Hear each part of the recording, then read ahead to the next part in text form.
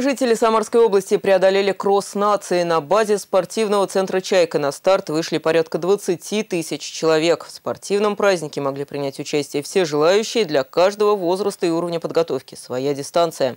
Юлия Север о самом массовом забеге года.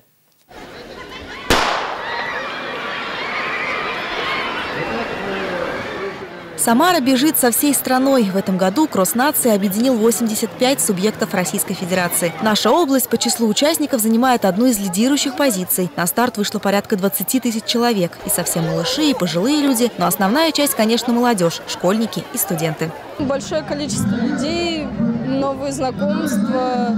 И тем более большое количество людей, которые участвуют, и они тоже хотят э, узнать, смогут ли они пройти эту дистанцию или нет. Первыми на старт вышли самые маленькие участники акции. Преодолели 300 метров. Всего семь раз стартер начала соревнование. Для любителей дистанция 2 и 4 километра. Для профессионалов маршрут посложнее – 6, 8, 12 километров.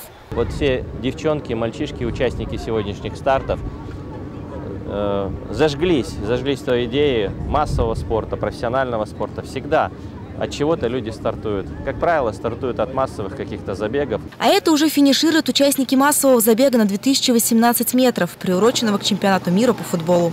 Забег очень хорошо прошел, мне он очень понравился. В общем, буря эмоций, э, энергии. Но после финиша как-то уже очень плохо. Результатами довольны? Да. Не для победы, участие ради. Кросс-нации – соревнования, где самое главное – хорошее настроение и ощущение причастности к большому празднику. Кто-то принять участие решил в последний момент. Заявку можно было подать и в день соревнования. Есть и те, кто к событию готовились основательно. 15 килограмм скинул. Ну, каждый день 15-20 километров. Это мое. И по дороге все грибы собираю. Помимо забегов, гостей праздника развлекали конкурсами, творческими выступлениями. Каждый желающий мог сдать нормы ГТО и принять участие в мастер-классах. Юлия Север, Дмитрий Алаторцев. Новости губернии.